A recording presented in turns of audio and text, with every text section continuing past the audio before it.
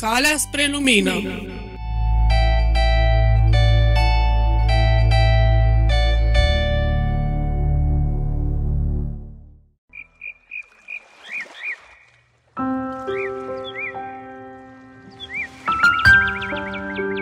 Psalmul 42 Către mai marele cântăreților.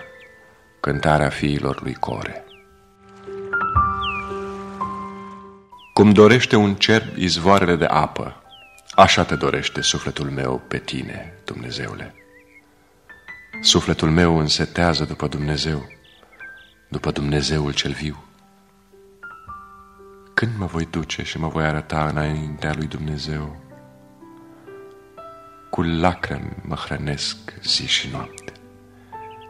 Când mi se zice fără încetare, unde este Dumnezeul tău?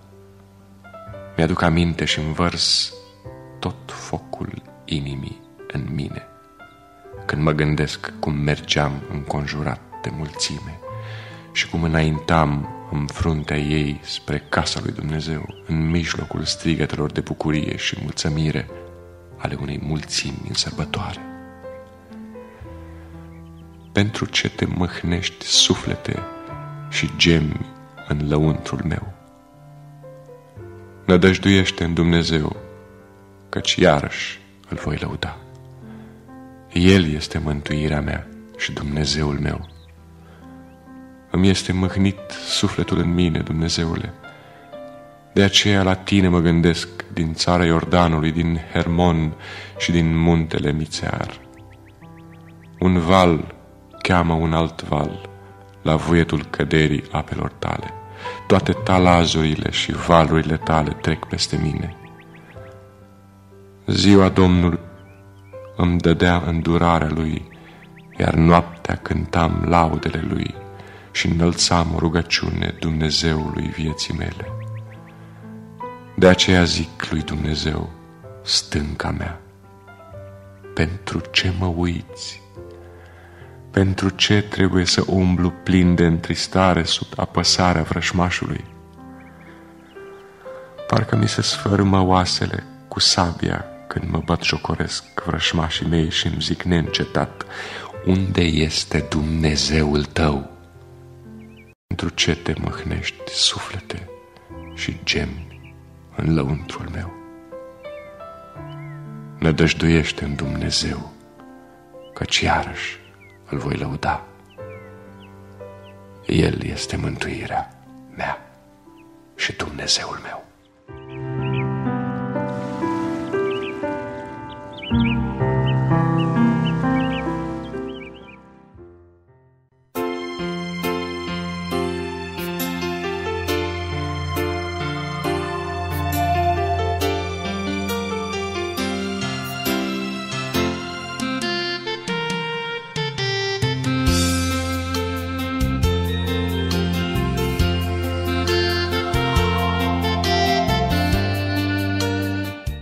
Găsit, dragi ascultători, la microfon Cristi Simion. Suntem la o nouă ediție a emisiunii Calea spre Lumină. Ascultăm câteva melodii cu Adi Henta, apoi o dramatizare a Evangheliei după Luca. Haideți să ascultăm. Muzica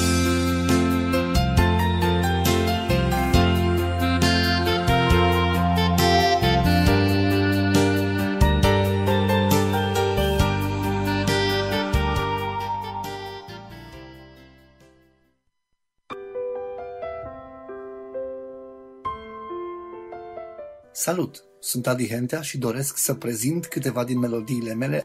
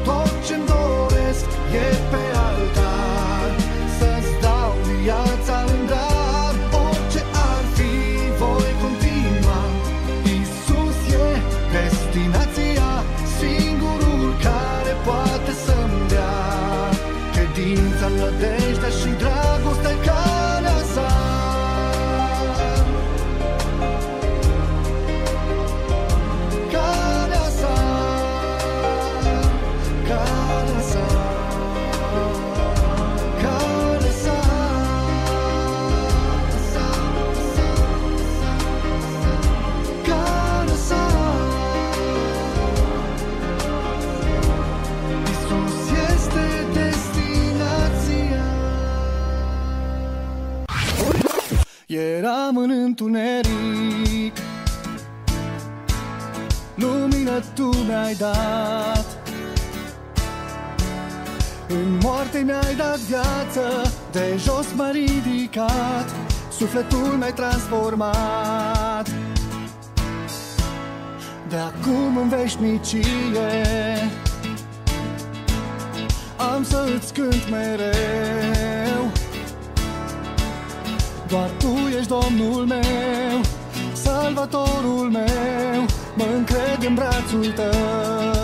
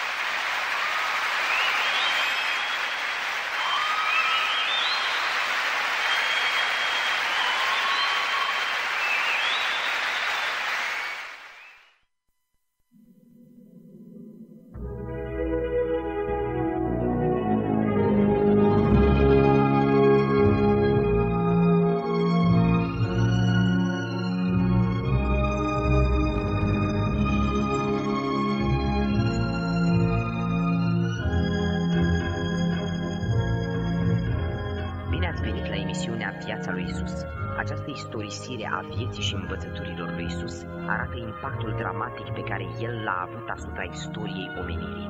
Cuvintele lui au autoritate, scop și sens. Relatarea vieții, morții și a învierii lui uimitoare a fascinat omenirea de-a lungul secolelor. Aceste întâmplări sunt adevărate.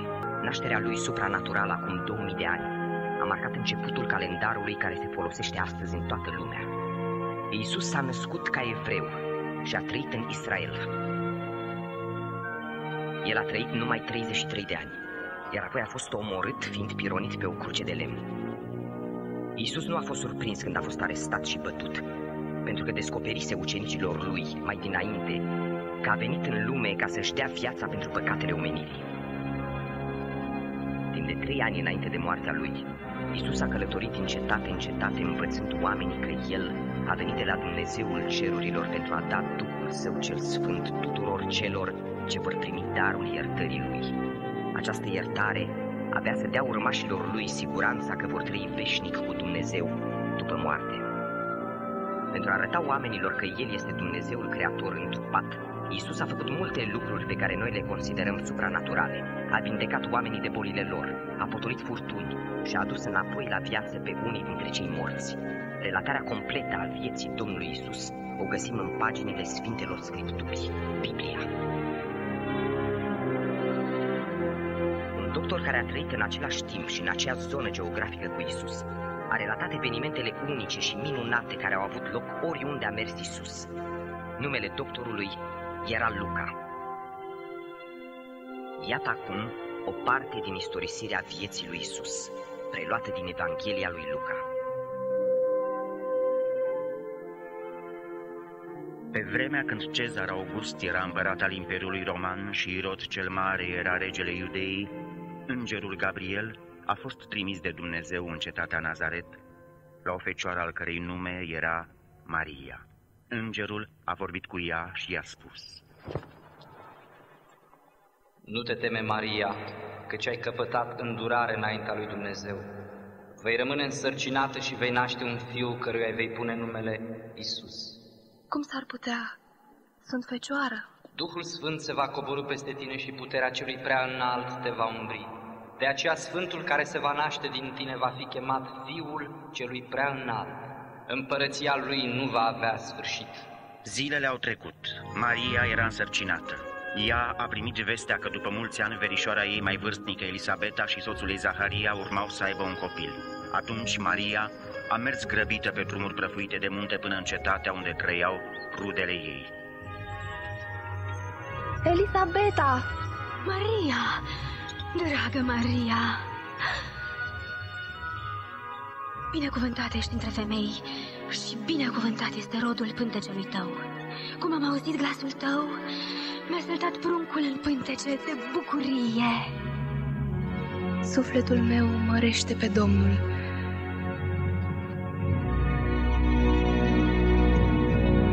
Și mă bucur în Dumnezeu, Mântuitorul meu. Iată că de acum toate neamurile vor zice fericită.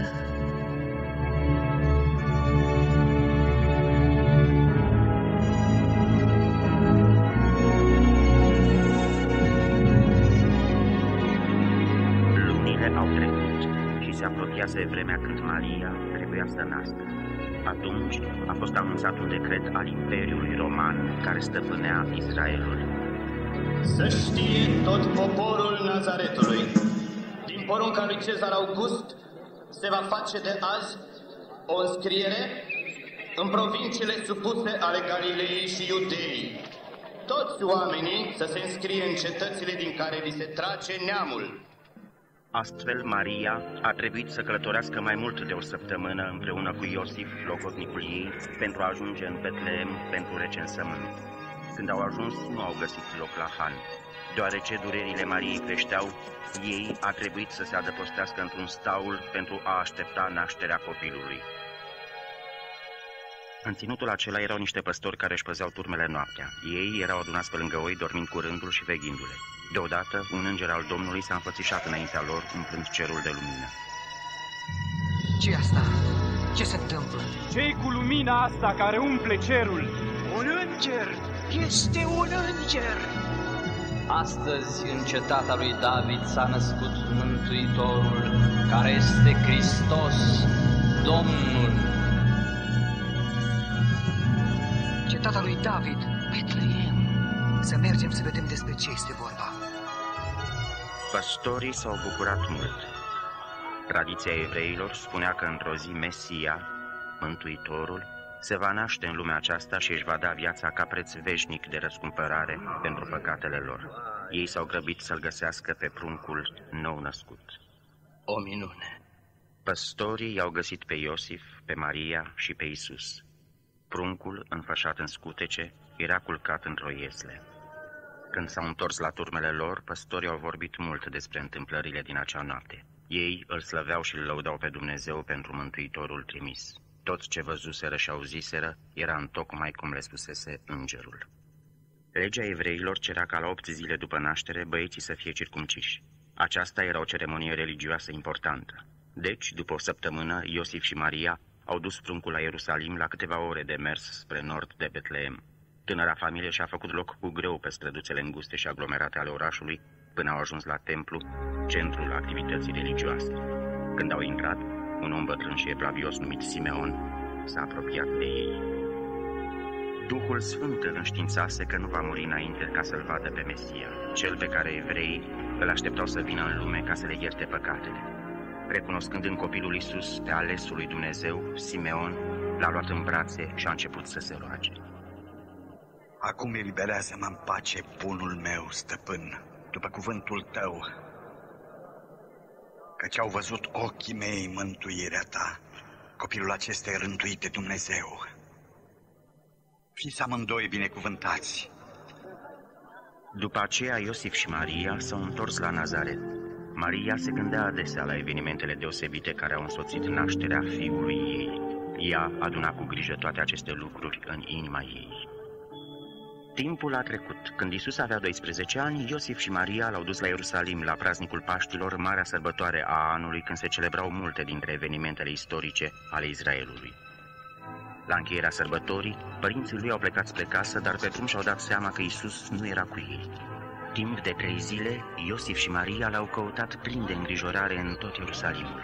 În cele din urmă, părinții l-au găsit pe Isus în templu, așezat în mijlocul învățătorilor religioși. Al cui este copilul acesta înțelept? E din Nazaret.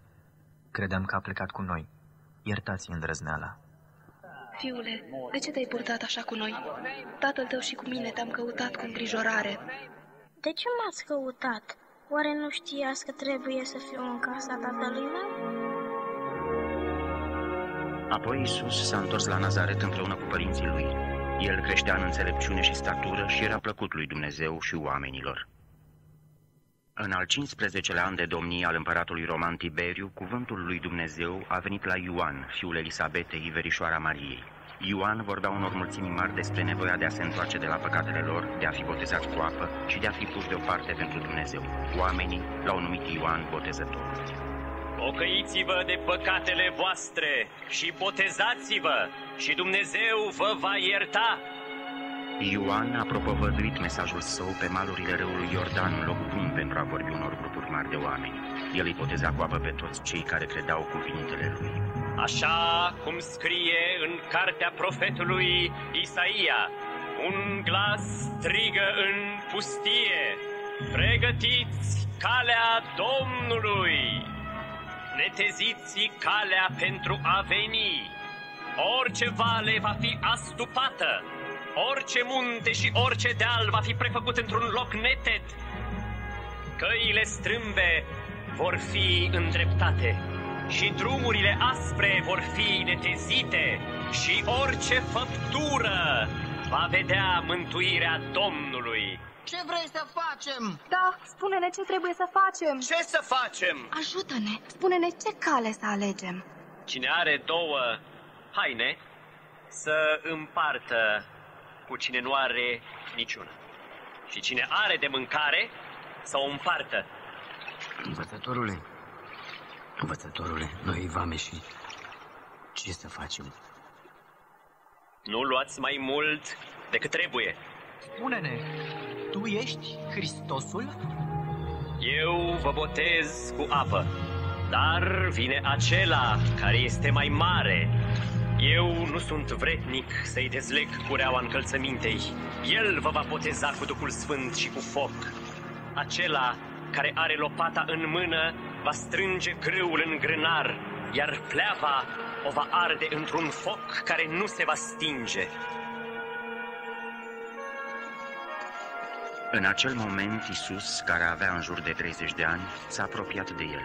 Ioan a fost de acord să-l boteze. Când a ieșit din apă, Isus a început să se roage. În momentul acela, Duhul Sfânt al lui Dumnezeu s-a coborât peste el în chip trupesc ca un porumbel și din cer s-a auzit un glas care zicea Tu ești Fiul meu prea iubit, în tine îmi găsesc toată plăcerea mea.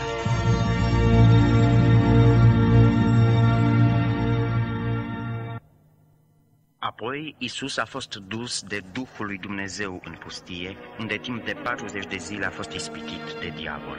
Nu a mâncat nimic în zilele acelea, așa că era flămând când diavolul s-a apropiat de el, spunând, Dacă ești Fiul lui Dumnezeu, poruncește pietrei acestea să se facă pâine.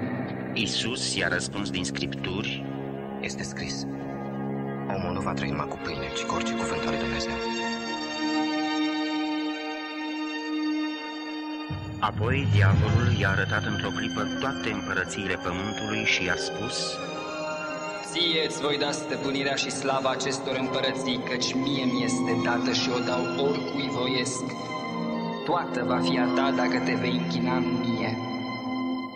Este scris să te închini Domnului Dumnezeului tău și numai Lui să-i slujești. În cele din urmă, diavolul l-a dus pe Isus pe marginea acoperișului templului din Ierusalim și i-a citat din Sfintele Scripturi. Dacă ești Fiul lui Dumnezeu, aruncă-te jos de aici, căci e scris, El va porunci îngerilor Lui să te păzească și ei te vor lua pe mâini ca nu cumva să te lovești cu piciorul de vreo piatră. Scriptura spune să nu ispitești pe Domnul Dumnezeul tău. După încheierea acestei încercări spirituale, Isus a călătorit spre nord până la Nazaret, cetatea în care își petrecuse copilăria. În ziua de odihnă, numită Sabat, Isus a mers la sinagogă, locul de închinare și de învățătură al evreilor. La cererea conducătorului sinagogii, el a citit din Scripturi. Duhul Domnului este peste mine, pentru că m-a uns să vestesc săracilor Evanghelia, să propovăduiesc robilor slobozirea și orbilor căpătarea vederii, să dau drumul celor apăsați și să vestesc anul de îndurare al Domnului. Vorbește bine. Astăzi s-au împlinit aceste cuvinte, așa cum le-ați auzit. Scriptura s-a împlinit? Numai Hristosul poate împlini aceasta. Cum vom ști asta? Fără îndoială îmi veți spune, doctore, vindecă-te pe tine însuți. Și îmi veți spune, fă și aici, în patria ta, tot ce am auzit că ai făcut în Capernaum. Adevăr vă spun că niciun proroc nu este bine primit în patria lui. Lăsați-mi mie! Nu se poate! Cine se trimitarului! Scoateți-l de aici! Dați-l afară! Mulțimea au încercat să-l arunce pe Isus în prăpastia din afara cetății, dar el a trecut printre ei și și-a văzut de drum. Lucrarea spirituală a lui Isus a crescut. El a început să adune pe lângă el oameni pe care să-i pregătească pentru a răspândi vestea venirii împărăției lui Dumnezeu. Lângă Marea Galilei, el a găsit câțiva pescari care își curățau plasa. Numele lor erau Simon Petru, Iacov și Ioan. Lângă ei erau două bărci de pescuit.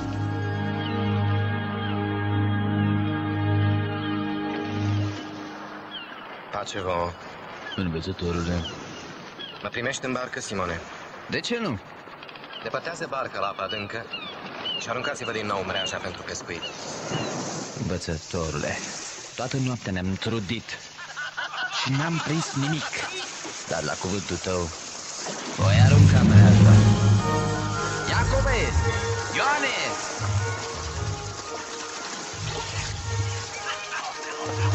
Fiind cu Iisus în corabie, ei au aruncat navoare. Plasele s-au umplut de pește și erau gata să se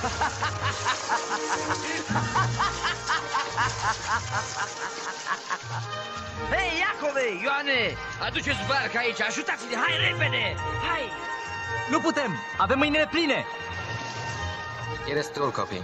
Destul. Această minune l-a copleșit pe Simon Petru.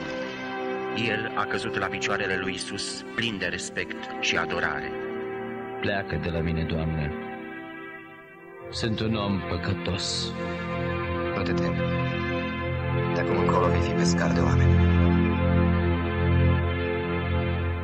Peste tot pe unde mergea Isus, oamenii se adunau în jurul lui din toată Iudeea, din Ierusalim și din ținuturile din prejur. Mulți veneau pentru a fi vindecați de bolile lor sau pentru că erau chinuiți de duhuri rele. Toată lumea încerca să-l atingă pe Isus. Din el ieșea o putere care îi vindeca pe mulți. Salvează-ne, Iisuse! Avem nevoie de tine, Doamne!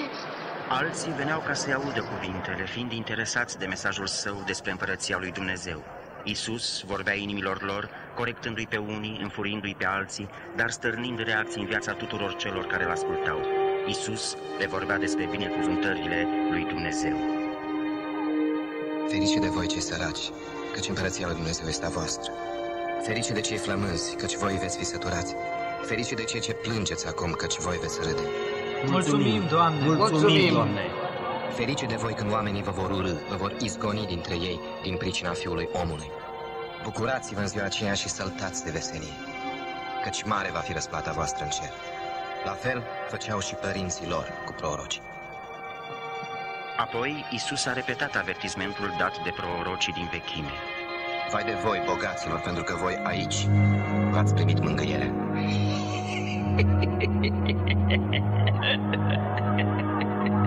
El nu vrea să fie bogat, cred că e nebun. Vai de voi care râdeți acum, pentru că voi veți plânge și vă veți stângui. Cuvintele spuse de Isus erau adesea tocmai opusul la ceea ce ar fi vrut să audă mulțimile. Vai de voi când oamenii vă vor vorbi de bine, căci tot așa făceau și părinții lor cu prorocii mincinoși. Dar ascultați-mă ce vă spun. Iubiți-vă vrăjmași. Ce? Să ne iubim dușmanii? Nu cumva cezarul. Faceți bine celor ce vă urăsc. Binecuvântați pe cei ce vă blastămă. Și rugați-vă pentru cei ce vă prigonesc. Dacă cineva te lovește pe un obraz, întoarce el și pe celălalt. Dacă îți ia cineva haina cu sila, dă și cămașa. Și oricui îți cere, dă Și celui ce te jefuiește, nu-i mai cere înapoi. Ce voi să vă facă, vouă oamenii faceți-le și voi la fel. Cu siguranță nu se referă la romani. Sau mai rău, la nemernicii de samariteni. Nici Dumnezeu nu iubește pe ăștia. Nu judecați și nu veți fi judecați. Nu osândiți și nu veți fi osândiți. Iertați și vi se va ierta. Dați și vi se va da, căci cu ce măsură măsurați, cu aceea vi se va măsura. Condune pe calea ta, Doamne! Dacă iubiți pe cei ce vă iubesc, ce răsplată vi se cuvine? Și păcătoșii iubesc pe cei ce iubesc. Dacă faceți binele celor ce vă fac binele, ce răsplată vreți? Și păcătoșii fac așa. Condune, Doamne! Voi, iubiți-vă vrăjmași, faceți-le bine și nu așteptați nimic în schimb. Și răsplata voastră va fi mare. Și veți fi fiii celui prea înalt. Că cei buni și cu cei răi și cu cei nemulțumitori.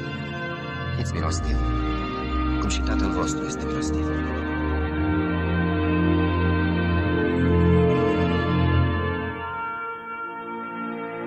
Adesea, Isus i-a surprins pe oameni cu învățăturile lui și i-a șocat prin acțiunile lui.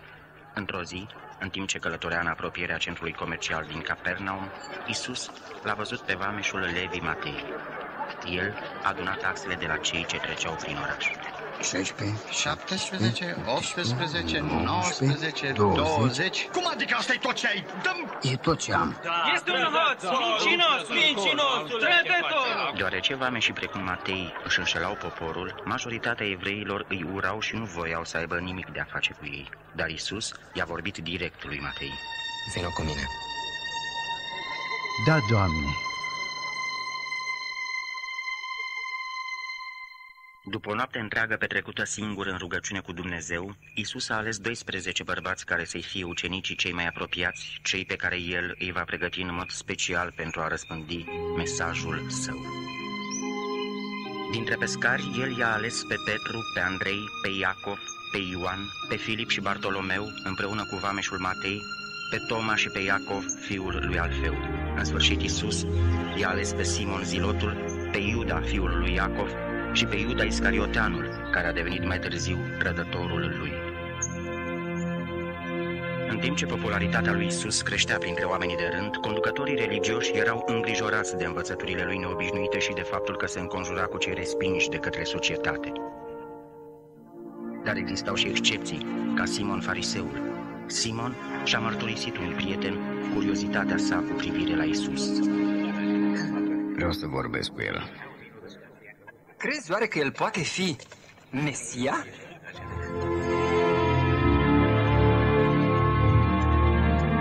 Așa că Simon l-a invitat pe Isus la masă pentru a vedea dacă el este alesul lui Dumnezeu pe care îl așteptau evreii. Isus și ucenicii săi au venit la casa lui Simon și și-au lăsat sandalele la intrare. Apoi au intrat în camera unde urmau să mănânce. Isus a fost rugat să ia loc lângă gazdă. Plecați, copii. Ieșiți afară. N-auziți, ieșiți. Au plecat cu toată zarma lor. Toată lumea s-a așezat în jurul mesei și așteptau să fie serviți. Ce caut asta aici? Nu știu. O femeie care a trăit o viață imorală a intrat în cameră ducând cu ea un vas de parfum. Ea auzise că Isus lua masa în acea casă. Ce face? Femeia s-a apropiat în grabă de Isus. Cu lacrimile ei i-a spălat picioarele prăfuite, iar cu părul ei lung îi le ștergea și le săruta. Simon își spunea în sinea lui, Dacă omul acesta ar fi un proroc, ar ști ce fel de femeie este cea care îl atinge. Ar ști că e o păcătoasă. Femeia a deschis vasul și a turnat parfum pe picioarele lui Isus în semn de închinare. Isus s-a uitat la gazda lui și a zis, Știu cine este femeia asta, Simon. Am să spun ceva. Un cămătar avea doi datornici. Unul îi datora 500 de lei, iar celălalt 50. Fiindcă n-aveau cu ce plăti, cămătarul i-a iertat pe amândoi. Care din ei crezi că îl va iubi mai mult? Socotesc că acela căruia i-a iertat mai mult. Drept ai judecat. Vezi femeia aceasta?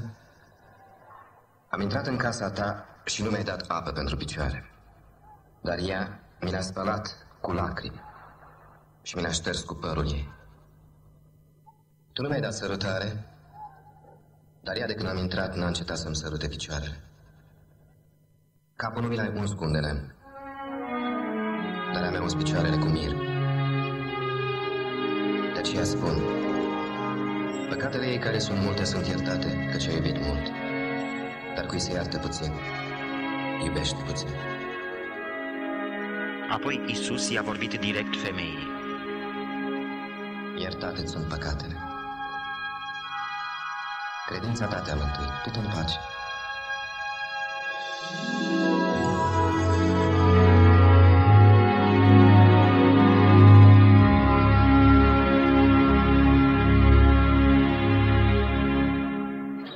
Negustorii și pescarii veniseră în Galileea pentru a auzi învățăturile lui Isus. Împrășteați prin mulțime erau și țărani, care știau că secerișul era uneori o chestiune nesigură. Ei i-au dat lui Isus ocazia de a învăța despre împărăția lui Dumnezeu. Semănătorul a ieșit să semene. Pe când semăna, o parte a căzut lângă drum, a fost călcat în picioare și păsările au mâncat-o. O altă parte a căzut pe stâncă și cum a răsărit, s-a și uscat, căci nu avea o mezeală. O altă parte a căzut printre spini. Spine au crescut și ei și au necat. O altă parte a căzut în pământ bun. Semințele au crescut, au crescut și au dat rod însutit. Ucenicii apropiați lui Isus l-au luat la o parte din mulțime pentru a-i pune câteva întrebări ridicate de pilda lui. Doamne, de ce vorbești în pilde când te ascultă mulțimea? Vouă v-a fost dat să cunoașteți tainele Împărăției Lui Dumnezeu. Dar celorlalți li se vorbește în pilde, ca să privească, dar să nu vadă, și să audă, dar să nu înțeleagă. În mintea lui, fiecare ucenic a văzut o imagine familiară. Țăranul care împrăștie sămânța din traista sa și ajutorul său care o acoperă cu pământ bun. Acesta e înțelesul pildei. Sămânța este cuvântul lui Dumnezeu. Sămânța căzută lângă drum sunt cei ce aud. Apoi vine diavolul și ia cuvântul din inima lor, ca nu cumva să creadă și să fie mântuiți. Sămânța căzută pe stâncă sunt cei ce aud cuvântul și îl primesc cu bucurie. Dar n-au rădăcină. Și cred până la o vreme, iar când ispita vine, se prăbușesc. Sămânța căzută între spini sunt cei care au auzit cuvântul. Dar grijile, bogățiile și plăcerile acestei lumi îi înnăbușe și n-ajunge la coacere.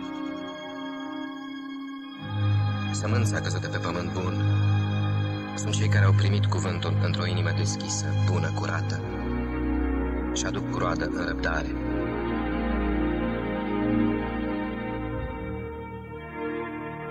Isus a accentuat această lecție cu un alt exemplu preluat din viața obișnuită din Galileea. Nimeni n-aprinde lumina ca să o pună sub un vas și nici să o pună sub pat, ci o pune într-un sfeșnic ca cei ce intră să o vadă. Nu este nimic acoperit care nu va fi descoperit și nimic tăinuit care nu va fi cunoscut și nu va veni la lumină. Condune, Doamne! Luați dar seama cum ascultați, căci celui ce are îi se va mai da, dar celui ce n-are îi se va lua până și puținul pe care îi se pare că l-are. Doamne, mama ta și frații tăi sunt afară, vor să te vadă. Mama și frații mei sunt cei ce aud cuvântul sfânt și îl împlinesc.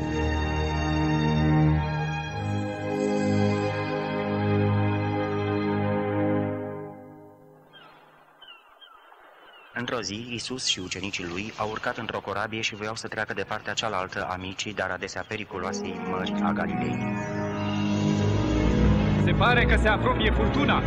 Oho, și încă una de plasnică! Haideți să nu luăm apă! Furtuna s-a abătut asupra lor, amenințând să răstoarne corabia și să-i arunce pe toți în mare. Totuși, Isus a dormit. Doamne! Doamne!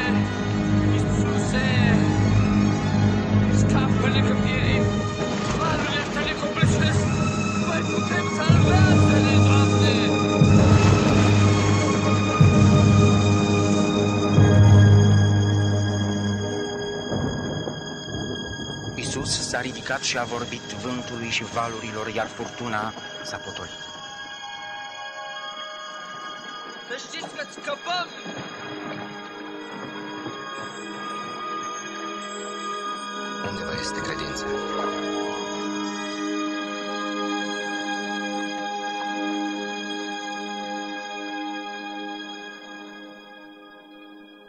Când marea s-a liniștit, Isus și ucenicii săi au trecut în regiunea numită Gadara. Malul era foarte abrupt și în depărtare se putea vedea o turmă de porci. Când Isus a coborât pe țărm, a fost întâmpinat de un om stăpânit de mulți draci, care de multă vreme umbla gol și locuia în mormânt. Iisuse, Fiul lui Dumnezeu, ce vrei de la mine? Te rog, nu mă pedepsi. Care ți numele?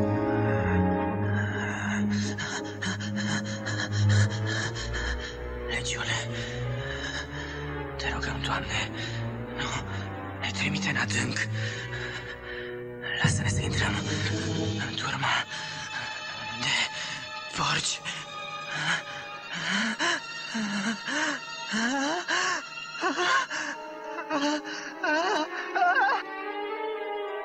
Isus le-a dat voie dracilor să intre în turma de porci din apropiere. Și turma a alergat direct spre malul abrupt.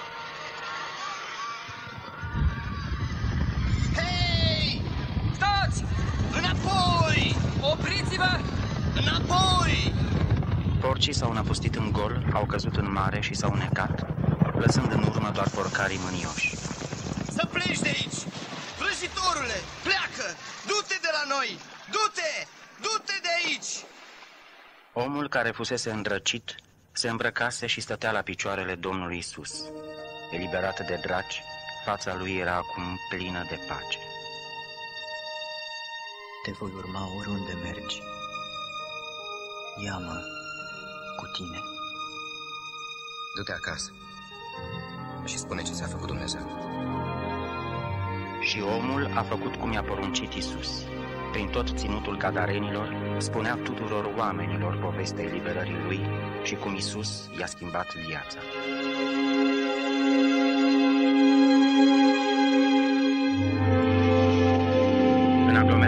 Aglomeratul oraș Capernaum, aflat pe țărmul Mării Galilei, Isus a găsit oameni gata să-i asculte învățăturile privitoare la împărăția lui Dumnezeu.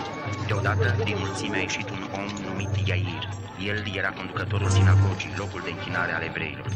Iată-l că vine! E aici! Priviți! Doamne! Doamne! Te rog să vindești fetița mea! Doamne, ai milă! Are doar 12 ani și moare! Te rog, vino cu mine! Lăsând mulțimea în urmă, Isus a venit la casa acestui conducător.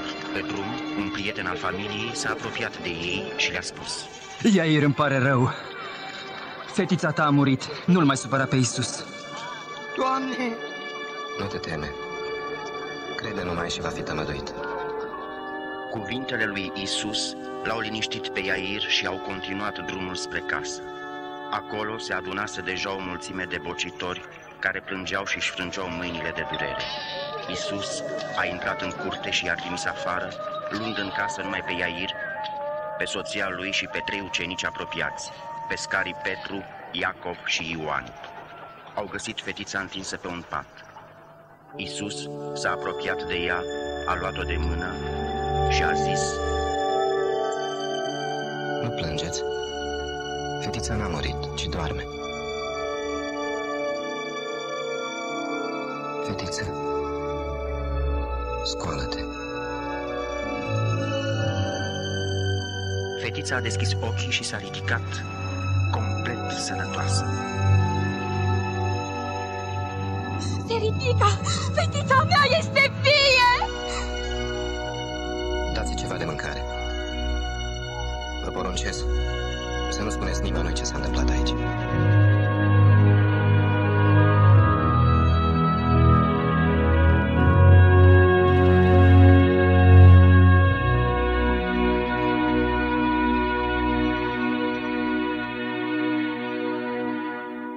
Isus și-a continuat învățăturile despre împărăția lui Dumnezeu până ce soarele era gata să apună dincolo de dealurile Galilei. Dar mulțimea de câteva mii de oameni a rămas lângă el. Doamne, dă drumul noroadelor să se ducă în satele și cătunele din prejur, ca să caute de ale mâncării. Aici e pustiu, Doamne. Voi trebuie să le dați ceva să mănânci. Dar noi nu avem decât cinci pâini și doi pești. Isus a poruncit ucenicilor să așeze oamenii în grupuri de câte 50. Apoi a ridicat mâinile spre cer și s-a rugat. Binecuvântat să fii Tu, Doamne Dumnezeule, stăpânul tuturor lucrurilor, care ne dai nouă pâinea pe pământ. Isus a frânt pâinile și peștii și a umplut coșurile ucenicilor care apoi le-au împărțit mulțimii. Cinci mii de bărbați, plus femeile și copiii, au mâncat și s-au săturat.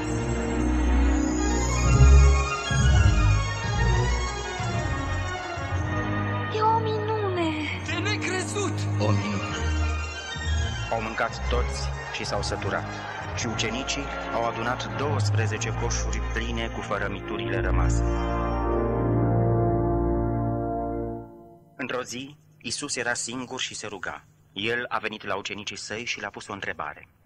Cine zic oamenii că sunt eu? Petru a răspuns în numele tuturor. Unii zic că ești Ioan Botezătorul, alții zic că ești Ilie, alții zic că ești un proroc din vechime care a înviat. Dar voi? Cine ziceți voi că sunt? Tu ești Hristosul.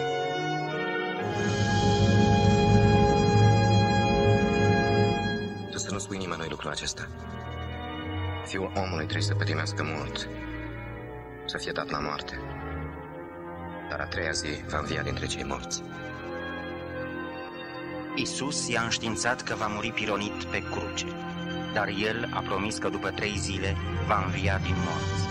Însă ucenicii săi nu au înțeles.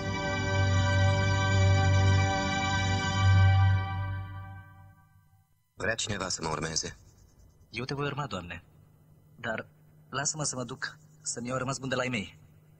Oricine pune mâna pe plug și se uită înapoi nu este vretnic de împărăția lui Dumnezeu. Dacă voiește cineva să vină după mine, să se lepede de sine, să-și ia crucea zilnic și să mă urmeze. Căci oricine va voi să scape viața, o va pierde. Dar oricine își va pierde viața pentru mine, o va mântui. Ce-ar folosi unui om să câștige toată lumea dacă s-ar pierde pe sine însuși? Minunile pe care le făcea Isus îi confirmau afirmația că este Fiul lui Dumnezeu. Apostolii au crezut că El este Mesia, alesul lui Dumnezeu. Într-o după-amiază, Isus i-a dus la poalele unui munte înalt. În răcoarea serii de vară, el a ales trei ucenici, pe Petru, Iacov și Ioan, pentru a merge cu el pe munte să se roage. Oh, ce urcuș greu. Abia mai respir. Și eu sunt frânt de oboseală. Cei trei ucenici au adormit. Pe când se ruga, lui Isus i s-a schimbat înfățișarea feței și îmbrăcămintea i s-a făcut albă, strălucitoare. Petre, ce se întâmplă? Ucenicii s-au trezit și au văzut doi proroci din veacurile trecute, pe Moise și Ilie, vorbind cu Isus. Tu vei împlini planul lui Dumnezeu. Vei muri în Ierusalim. Pe când prorocii plecau, Petru a zis, Învățătorule, este bine să fim aici. Să facem trei colibe. Una pentru tine, una pentru Moise și una pentru Ilie. Pe când vorbea Petru, un nor strălucitor i-a acoperit. Ucenicii s-au înspăimântat când i-au văzut intrând în nor. Și din nor s-a auzit un glas care zicea, Acesta este fiul meu prea iubit, de el să ascultați.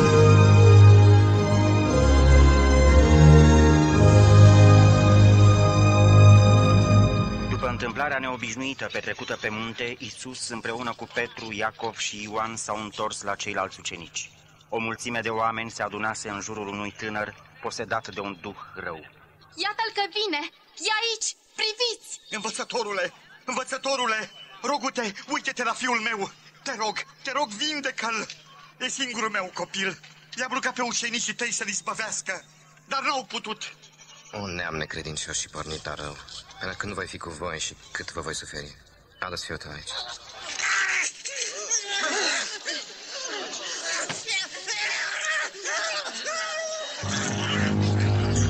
Chiar atunci Duhul rău l-a trântit pe copil la pământ și l-a scuturat cu putere. Isus a poruncit Duhului rău să plece și îndată copilul a fost vindecat.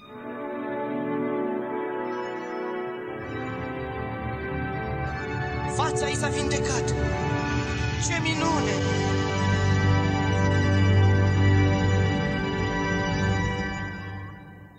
Isus mergea adesea singur să se roage. Într-o zi, ucenicii s-au apropiat cu o cerere importantă. Învață-ne să ne rugăm, așa cum și Ioan și-a învățat ucenicii. Când vă rugați să spuneți, Tatăl nostru care ești în ceruri, sfințească-se numele Tău, vie împărăția Ta, facă-se voia Ta precum în cer, așa și pe pământ. Pâinea noastră, ce de toate zilele, dă-ne nouă astăzi și ne iartă nouă păcatele noastre, precum și noi iertăm greșiților noștri. Și nu ne duce pe noi în ispită și ne izbăvește de ce rău. Pe când ucenicii îl însoțeau din cetate în cetate, Isus se oprea adesea să învețe lucruri importante despre rugăciune. Cereți și vi se va da. Căutați și veți găsi. Bateți și vi se va deschide. Căci oricine cere, capătă. Cine caută, găsește. Și celui ce bate, o ușă îi se va deschide. Ce vrei să spui? Care este tatăl acela dintre voi care dacă îi cere fiul său un pește, să-i dea un șarpe? Sau dacă îi cere un ou, să-i dea o scorpie? Dacă voi cei răi știți să dați daruri bune copiilor voștri, cu cât mai mult Tatăl vostru ceresc va da Duhul Sfânt celor ce îl cer.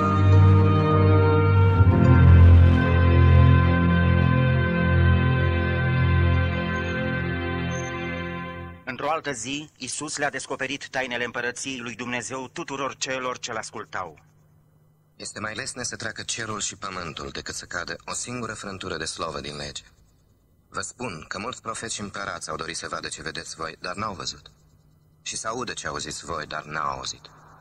Un învățător al legii care ședea în mulțime a încercat să-l ispitească pe Isus. El l-a întrebat cum poate să câștige viața veșnică. Ce să facem? Ce spun scripturile? Cum citești în lege? Iubește pe Domnul Dumnezeu cu toată inima, cu tot sufletul, cu toată puterea și cu tot cugetul. Și iubește pe aproapele tău ca pe tine însuți. Bine ai răspuns. Fă așa și vei avea viață veșnică. Învățătorul legii știa că Isus a răspuns bine, dar mulți continuau să-l provoace cu întrebări. Cine este aproapele meu? Doar nu soldații. Nu cumva cezarul? Știind că oamenii îi disprețuiesc adesea pe cei care sunt diferiți de ei înșiși, Isus a început să le spună o pildă. Ascultătorii puteau să-și imagineze scena. Un drum singuratic prin deșert, de la Ierusalim până la Erihon, drum pe care călătorul neatent întâlnea multe necazuri. Grupuri de bandiți se ascundeau adesea în spatele stâncilor. Odată un om se pogora din Ierusalim la Erihon. L-au prins niște tâlhari, l-au bătut și l-au despuiat și l-au lăsat aproape mort. Din întâmplare, se cobora pe același drum un preot, care când l-a văzut pe omul acela, a trecut pe alături. Un levit trecea și el prin locul acela și când l-a văzut, a trecut înainte pe alături. Dar un samaritean, care era în călătorie, a venit în locul acela, l-a văzut și s-a făcut milă de el. Nu se poate! Nu se poate! Cu neputință! De ce să vrea un păgân ca ăsta să ajute un evreu? Un samaritean? Îți bagi joc de noi! S-a apropiat de el, i-a legat rănile, apoi l-a pus pe dobitocul lui, l-a dus la un han și a îngrijit de el. A doua zi a dat hangiului doi arginți și i-a spus, ai grijă de el. Și orice vei mai cheltui, îți voi da înapoi la întoarcere. Care dintre aceștia trei a dat dovadă că este aproape de celui căzut între tâlhari? Cel care a fost bun cu el. Isus a zâmbit și le-a spus să facă și ei la fel.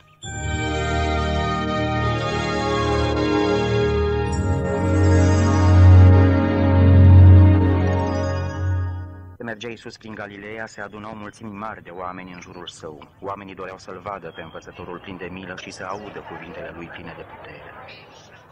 De aceea vă spun, nu vă îngrijorați de viața voastră, nici de ce veți mânca, nici de trupul vostru și ce veți îmbrăca. Căci viața este mai mult decât hrana și trupul mai mult decât îmbrăcăminte. Uitați-vă la corbi. Ei nu seamănă, nici nu seceră, n-au nici cămare, nici hambar, și totuși Dumnezeu îi hrănește. Cu cât mai de preț sunteți voi decât păsări. Dar trebuie să avem grijă și de noi înșine, nu? Care dintre voi, îngrijorându-se, poate adăuga un cot la lungimea vieții lui? Dacă nu puteți face un lucru mic, de ce să vă mai îngrijorați de celelalte? Spune-ne mai departe. Uitați-vă cum cresc crinii. Ei nu torc, nici nu țes. Totuși, nici Solomon, în toată slava lui, n-a fost îmbrăcat ca unul din ei. Dacă astfel îmbracă Dumnezeu iarba care mâine va fi ars în cuptor, cu cât mai mult vă va îmbrăca El pe voi. puțin credincioși. Părește-ne credința. Dacă ați avea credință cât un grăunte de muștar, ea spune dudului aceluia, dezrădăcinează-te și sădește-te în mare, pe loc, și va asculta. Chiar dacă învățăturile lui Isus îi provocau pe adulți, blândețea lui îi atrăgea pe copii. Ei stăteau la picioarele lui și îl ascultau. Este cu neputință să nu vină prilejul de păcătuire, dar vai de acela prin care vine. Ar fi mai de folos pentru el să-i se lege o piatră de gât și să fie aruncat în mare, decât să facă pe unul din acești micuți să păcătuiască. Copilașii îl ascultau cu atenție chiar și atunci când nu prea înțelegeau. Cu ce se aseamănă împărăția lui Dumnezeu? Se aseamănă cu un grăunte de muștar semănat în grădină. El a crescut, s-a făcut copac mare și păsările și-au făcut cuiburi în el. Și unde va fi această împărăție a lui Dumnezeu? Împărăția lui Dumnezeu nu vine în așa fel încât să ispească privirile. Nu se va zice, iată, este acolo sau e aici. Pentru că împărăția lui Dumnezeu este în voi. Vor veni zile când veți dori să vedeți una din zilele Fiului Omului și nu o veți vedea. Cum este fulgerul de la o margine a cerului și până la cealaltă, așa va fi și Fiul Omului în ziua sa. Dar mai întâi trebuie să sufere și să fie lepădat de poporul acesta. Într-o dimineață, pe când Isus și ucenicii se pregăteau să plece, un conducător al sinagogii din oraș a venit și a îngenunchiat cu respect înaintea lui Isus.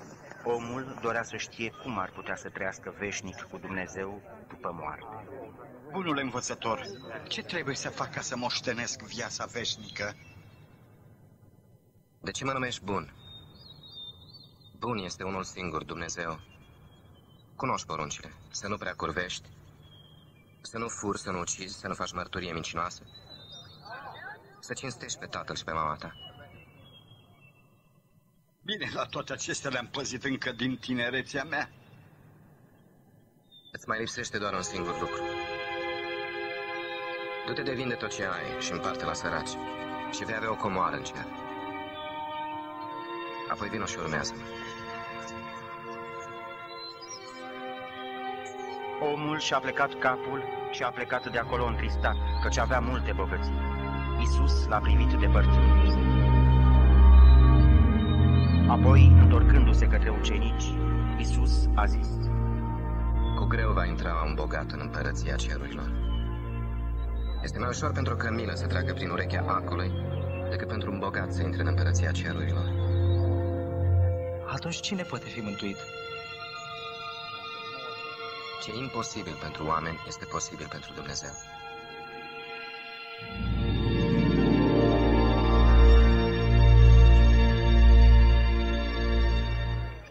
Slăvit să fie Domnul!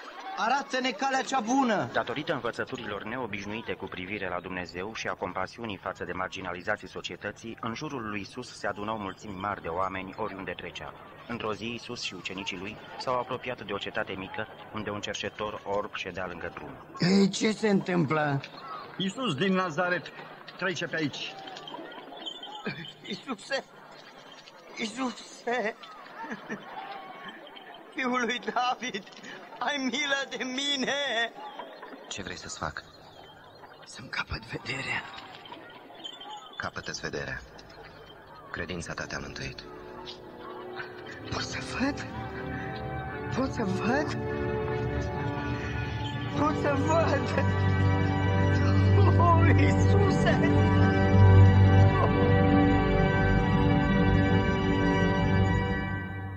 Isus trecea prin Ierihon în drumul său spre Ierusalim pentru a sărbători Paștele. Mulțimi mari pregătite de sărbătoare îl așteptau peste tot.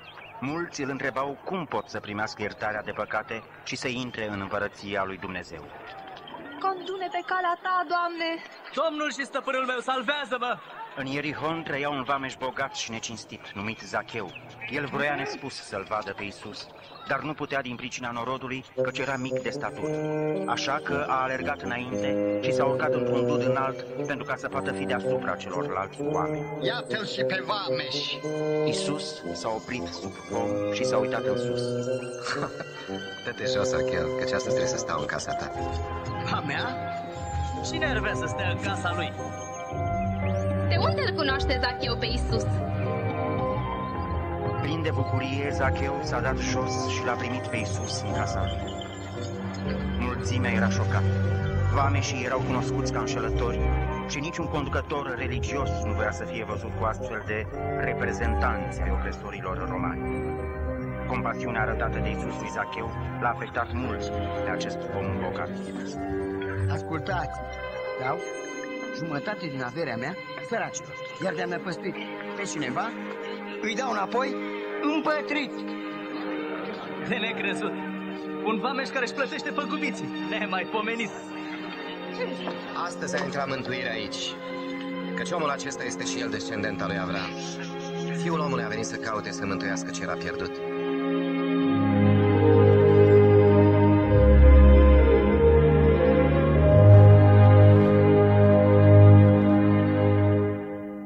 Apropiindu-se de Ierusalim, Isus a hotărât să intre în cetate călare pe un măgăruș.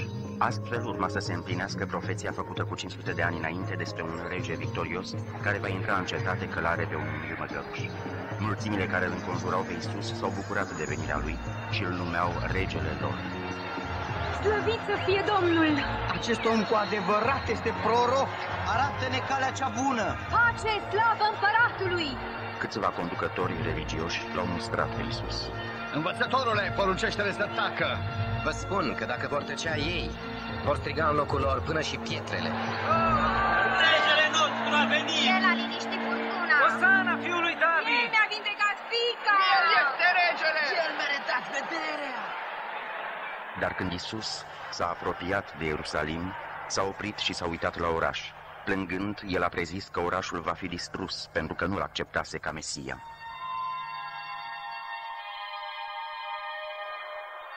Măcar dacă ai fi cunoscut și tu lucrurile care astăzi puteau să-ți aducă pacea.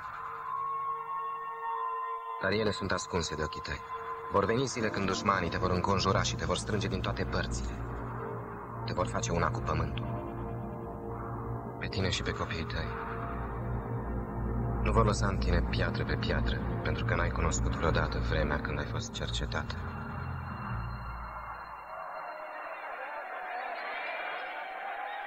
Deoarece popularitatea lui Isus creștea, liderii politici și religioși erau foarte îngrijorați. Înțeleg că mulți deja l-au făcut împărat. Împărat? Ha!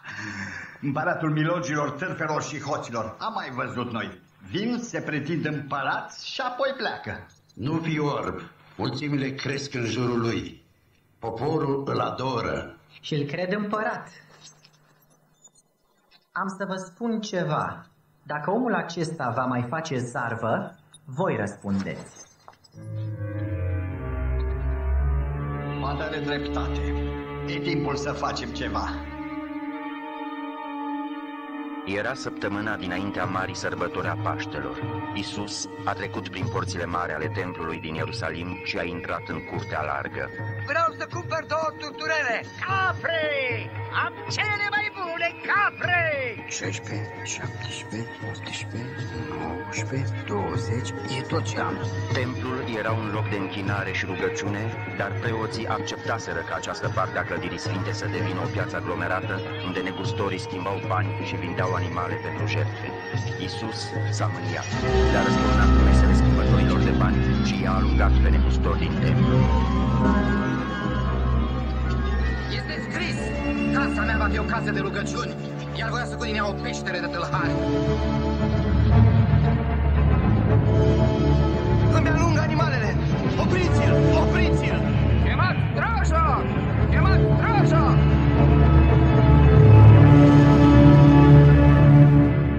În fiecare zi, Isus îi învăța pe oameni în templu, dar marii preoți și învățătorii legii unelteau împotriva lui. Odată, el s-a oprit în fața templului pentru a-i vedea pe cei care aduceau daruri închinate lui Dumnezeu. Printre ei era și o văduvă săracă care adusese doar doi bănuți. Este foarte puțin. Nu poți da mai mult? Adevărat vă spun că această văduvă a dat mai mult ca toți ceilalți. Căci toți au aruncat la daruri din prisosul lor. Dar ea a aruncat din sărăcia ei tot ce a avut ea ca să trăiască. Tocmai atunci un grup de preoți s-a apropiat de Isus, întrebându-l cu ce drept îi învață pe oameni și face minuni. Spune-ne, cu ce putere faci tu aceste lucruri? Cine ți-a dat dreptul? Am să spun și eu o întrebare. Spuneți, dreptul lui Ioan de a boteza venea din cer sau de la oameni? Preoții s-au retras pentru a discuta în șoaptă despre lucrarea lui Ioan Botezătorul. Ce vom spune? Dacă spunem din cer, el ne va spune, nu l-ați crezut pe Ioan. Te vom zice că e de la oameni, mulțimea ne va omorâ. Pentru că toți l-au crezut proroc. Dar noi nu știm de unde venea. N-am să vă spun nici eu atunci cu ce putere fac aceste lucruri. Știind că acei conducători religioși erau necinstiți, Isus i-a ignorat și a început să spună o pildă. A fost odată un om care a sădit o vie, a arendat unor vieri, când vremea culesului de struguri a venit, a trimis la arendaș un rob ca să-și primească partea ce îi se cuvenea. Dar arendașii l-au bătut și l-au trimis înapoi cu mile goale. Așa că a mai trimis un rob. Ei l-au bătut și pe acela. L-au batjocorit și l-au trimis de asemenea înapoi. Spune-ne mai departe. El l-a trimis și pe al treilea. Ei l-au rănit și apoi l-au aruncat afară. Stăpânul vie a spus, ce să fac? Am să trimit pe fiul meu iubit. Poate că îl vor primi cu cinste. Dar când vierii l-au văzut venind spre ei și au spus, iată moștenitorul, să-l ucidem ca moștenirea să devină noastră. L-au aruncat din vie afară și l-au omorât. Acum ce le va face stăpânul viei acestor arendași? El va veni și îi va omorâ și via o va da altor vie. Arestați-l! Unii dintre preoți au vrut să-l aresteze pe Isus chiar acolo, deoarece știau că el spune pildele pentru ei. Dar ceilalți se temeau de popularitatea lui, așa că s-au hotărât să încerce să-l prindă cu vorba. Învățătorule, știm că vorbești și înveți drept și că nu cauți la fața oamenilor și că înveți adevărul despre voia lui Dumnezeu pentru om. Spune-ne, este împotriva legii noastre să plătim bir cezarului roman sau nu?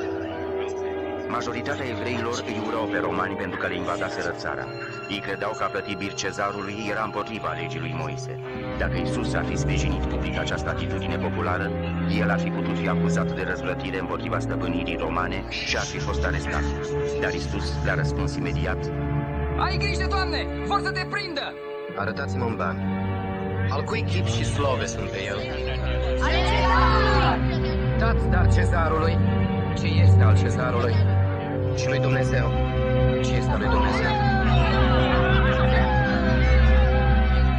La asta ce mai răspundeți?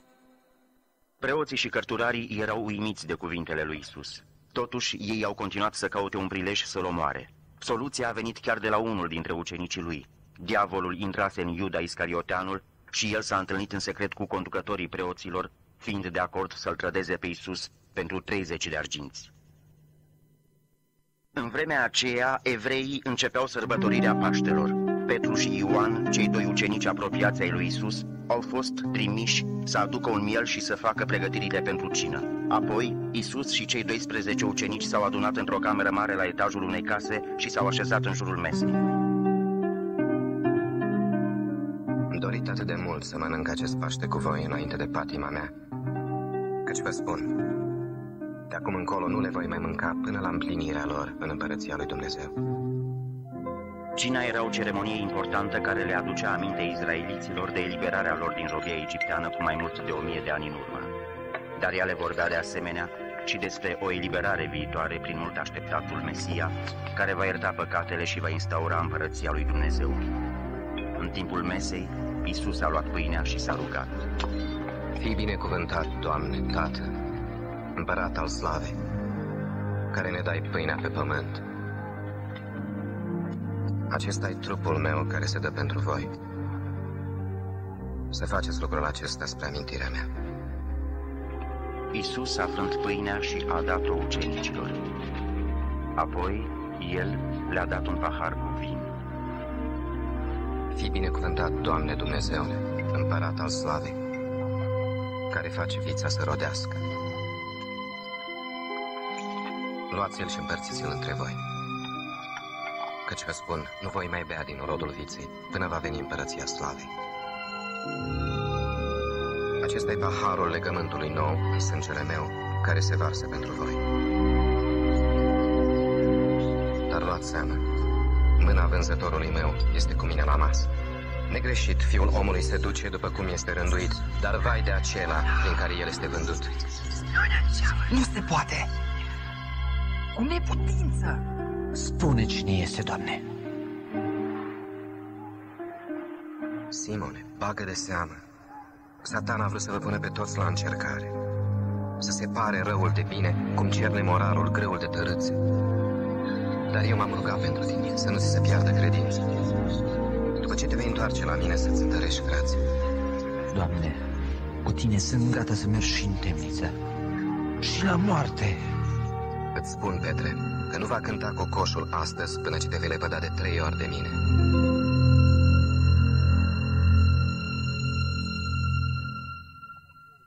În noaptea aceea, Isus și ucenicii lui au ieșit din Ierusalim și au mers pe muntele măslinilor ca să se roage.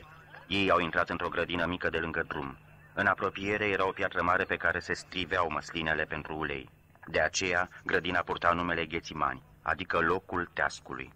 Doamne, Rugați-vă ca să nu cădeți în ispită. Știind că timpul trădării și morții lui se apropie, Isus s-a îndepărtat de ucenici și a îngenunchiat ca să se roage.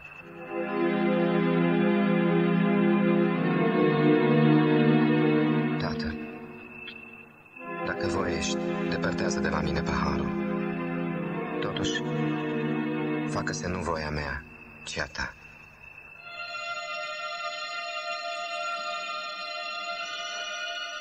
În agonia lui, sudoarea de pe fruntea lui Isus s-a transformat în picături de sânge. Un înger a venit din ceruri ca să-l întărească. Când s-a ridicat, Isus a văzut că ucenicii lui adormiseră.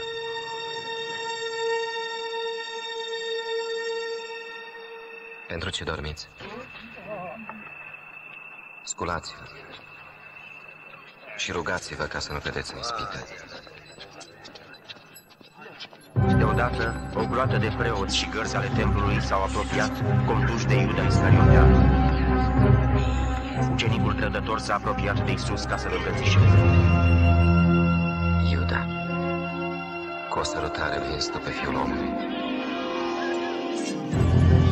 Câțiva ucenici au pus mâna pe țăbile pe care le aveau ascunse sub haine. Doamne, să lovim cu sabia? Haide, arestați-l! Petru a sărit să-l apere pe Isus și a tăiat urechea slujitorului marele. Destul! Isus a atins cu grijă urechea slujitorului și l-a vindecat. O minune. Ați ieșit cu săbii și ce-o merge ca după un tâlhar. În toate zilele ce am fost cu voi în templu, n-ați îndrăznit a pune mâna pe mine. Dar acum e ceasul vostru și puterea întunericului. Haide, arestați-l! Soldații l-au înconjurat pe Isus și i-au legat mâinile. Ucenicii lui au fugit, temându-se pentru viața lor.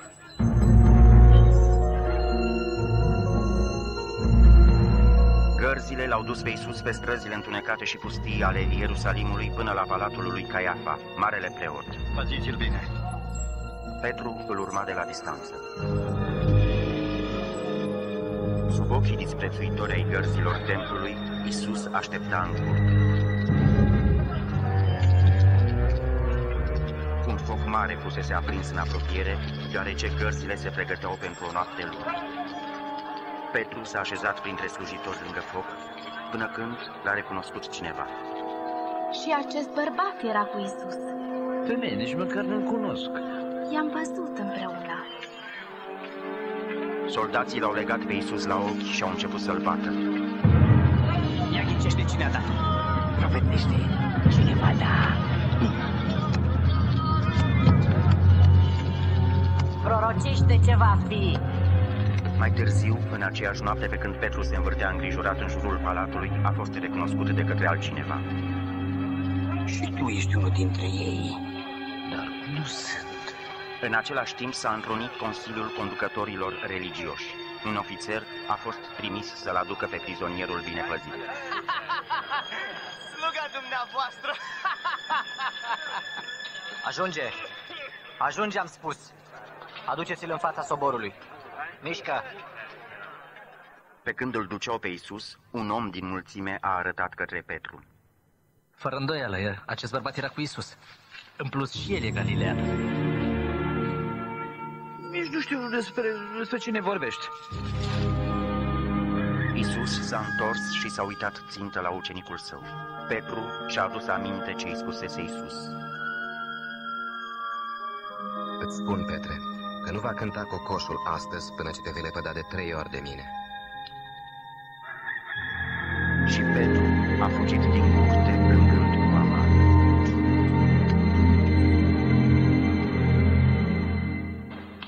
Conducătorii Consiliului au început să-l interogheze pe Isus. Spune-ne, ești tu Hristosul? De vă voi spune, nu mă veți crede. Dar de vă voi întreba ceva, nu îmi veți răspunde. De acum încolo, fiul omului va sta la dreapta puterii lui Dumnezeu. Ești tu? Fiul lui Dumnezeu? Așa cum o spui, sunt. Cine îi dă dreptul să spună asta? Noi înșine l-am auzit ce a spus. Ce vinovat. Îl ducem la Pilat. Scoateți-l afară! Da, să ducem la Pilat. Vinovat să-l ducem înaintea lui Pilat. Haideți să-l ducem, ce mai ducem la Pilat? În zorii zilei, o gardă a templului pășea grăbită pe străzile înguste ale Ierusalimului, ducând un om la palatul lui Pilat, guvernatorul roman al Iudeii. Mișcă! Pilat era cunoscut pentru executarea fără milă a mii de oameni și nepăsarea față de evrei. Ce este cu voi aici? De-ați venit cu noaptea în cap? Am prins unul care răzvrătește poporul. El a făcut tulburarea din piața templului. Ce pedeapsă va primi? O sândește! Da, pedepsește! Pe oficialii romani îi interesau prea puțin certurile religioase, atâta timp cât ordinea publică nu era tulburată. Eu nu găsesc nicio vină acestui om, nicio vină. L-am găsit vinovat. L-am auzit învățând norodul să nu plătească taxe împăratului. Spune că el este Hristosul, împăratul. Această acuzație i-a atras atenția lui Pilat. Ea putea să însemne trădare și o amenințare pentru poziția lui. Împărat? Ești tu împăratul iudeilor? Precum ai spus El a început în Galileea și acum a venit aici. În Galileea? E galilean? Atunci să se ocupe Irod de cazul lui. Mai e în Ierusalim, nu-i așa? Duceți-l la Irod. Da, domnule. Încă o dată Iisus a fost târât pe străzile Ierusalimului de acuzatorii săi și dus la palatul lui Irod. Irod l-a întrebat. Cine te pretinzi că ești? Cine sunt ucenicii tăi? Mi s-a spus că faci minuni. Vreau să văd și eu una. Iisus nu spunea nimic, dar conducătorii religioși nu-și puteau ține gura. Stăpâne, a răzvrătit tot norodul. S-a făcut pe sine împărat. Cine e? Împărat? Irod a început să-l insulte pe Isus. Gărzile l-au umilit, îmbrăcându-l cu o mantie strălucitoare. Aceasta e o haină de rege. Maestate. Loviți-l bine. Duceți-l lui Pilat. Aici el comandă.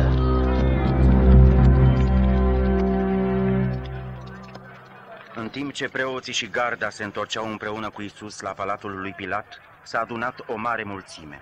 Soldați, pelerini și mulți alții, veniți să sărbătorească Paștele, stăteau înaintea tronului de judecată. Dar Pilat tot nu voia să-l condamne pe Isus. Omul acesta n-a făcut nimic pentru a merita moartea. Deci îl voi biciui și îi voi da apoi drumul. Tu trebuie să ne dai nou un întemnițat de Paștele acesta. Exista un obicei ca de Paști romanii să elibereze unul dintre condamnații la moarte. Să ne-l dai pe Baraba. Da, da, dă-l pe Baraba. Că acesta răstigni fiul. Tu, bateți-l.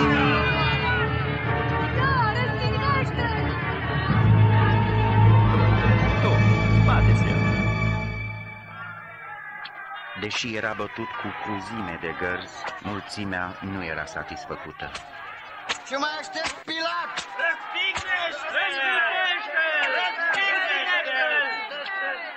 Răstignește-l! Da, răstignește-l! În mulțime erau și câțiva ucenici ai lui Isus, care nu se auzeau însă, din cauza vacarmului. De ce îl chinuiți așa? Iisus! Lăsați-l! El este Mesia! El n-a făcut nimica! Ridicați-l! Temându-se de o răscoală, Pilat a fost de acord în cele din urmă să-l răstignească pe Isus. Presat de mulțime, Pilat a fost de acord să le libereze pe criminalul Baraba, dar când a dat ordinul de răstignire, el a spus că este nevinovat de sângele lui Isus. Da, sângele lui să fie asupra noastră și asupra copiilor noștri! Soldații romani s-au pregătit să îndeplinească ordinele primite. Ai de gând să ne mântuiești înălțimea ta? Ai de gând să ne mântuiești? Arată-ne una din minunile tale! Hai să terminăm treaba! După ce l-au bătut din nou, soldații romani l-au îmbrăcat pe Isus cu hainele lui și l-au pus să-și ducă crucea. Apoi l-au împins pe străzi înguste, forțându-l să traverseze orașul. Mișca! Înapoi! Dați-vă înapoi! Cu puțin înainte de ora 9 dimineața, soldații l-au dus pe Isus în locul obișnuit de execuții din afara Ierusalimului, Golgota sau locul craniului. Sărmanul e aproape mort! A fost torturat groaznic. Slăbit și obosit, Isus a căzut la pământ. Pentru a merge mai departe, comandantul roman s-a uitat în mulțime pentru a găsi pe cineva care să-i poarte crucea. Tu, cum te cheamă? Simon din Cirena. Vino încoa. Tăiat frânghiile. Care-o tu? Hai, mișcă! Înapoi. Înapoi! Plecați de aici!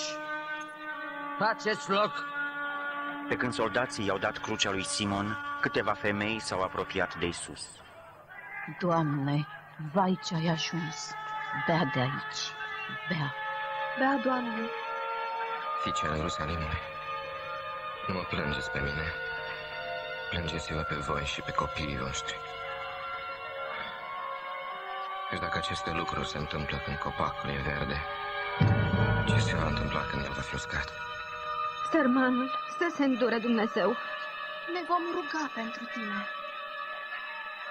În cele din urmă au ajuns la Golgota, unde a început tortura cea mai crudă. Isus, pus între doi tâlhari, a fost dezbrăcat de hainele lui. Soldații i-au pilonit mâinile și picioarele de lemnul crucii. Ridicați-l!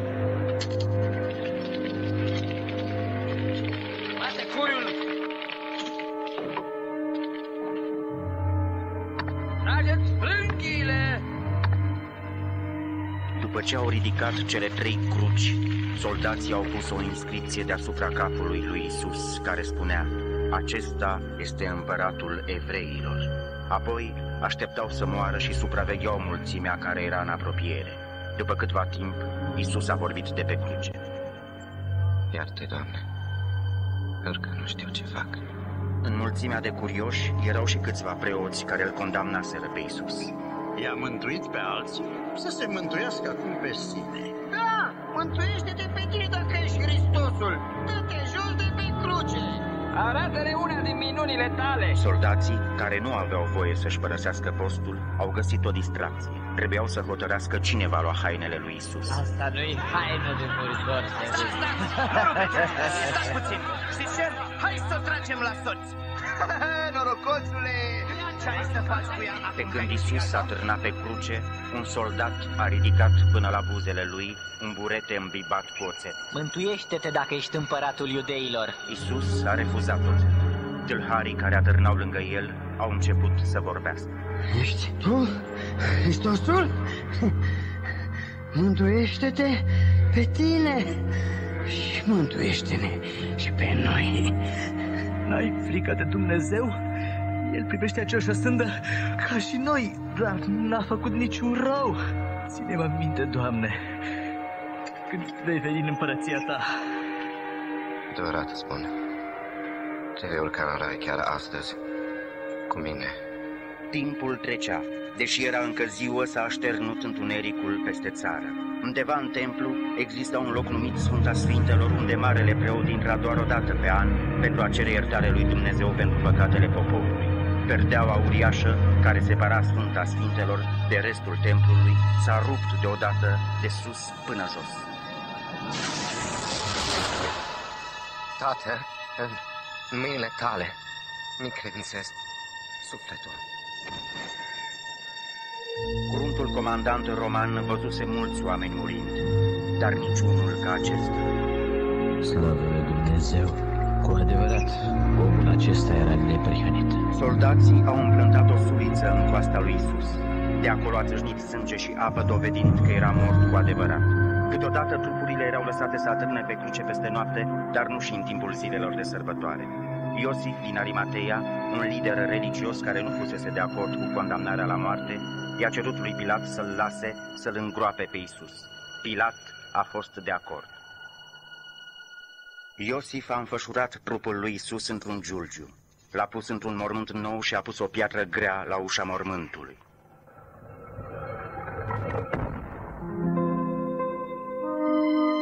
Pe când pleca de acolo, Iosif și ajutoarele lui au văzut un grup de femei. Ele îl urmaseră pe Isus când fusese în viață și îl văzuseră murind. Iartă-ne, am urmat trupul Domnului nostru. Fiți binevenite, dar veniți acum, căci se apropie ziua sabatului. Știind acum unde era mormântul, femeile s-au întors în oraș ca să pregătească parfumuri și fâșii de pânză. Conform obiceiului, acestea aveau să fie folosite pentru a îmbălsăma trupul lui Isus.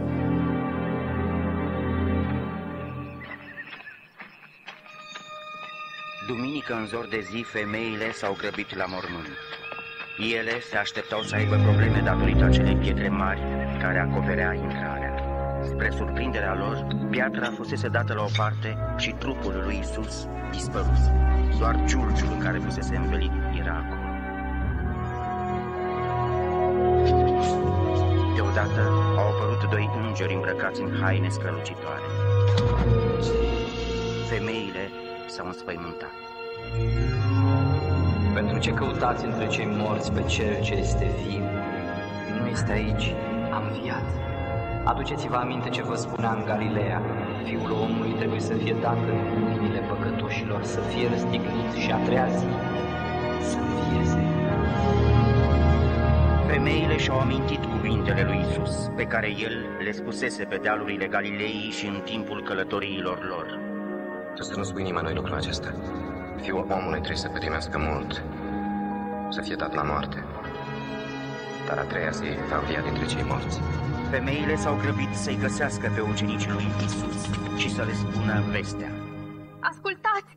Piatra era dată la o parte. Am intrat, dar trupul Domnului dispăruse. Ce? Trupul Domnului a dispărut? Și doi bărbați au apărut, îngeri lucind, ca soarele, și au zis, de ce-l căutați pe cel viu între morți? E adevărat. Credeți-ne, credeți-ne. I-am văzut. Mergeți și voi să vedeți. Mormântul e gol. Domnul a dispărut.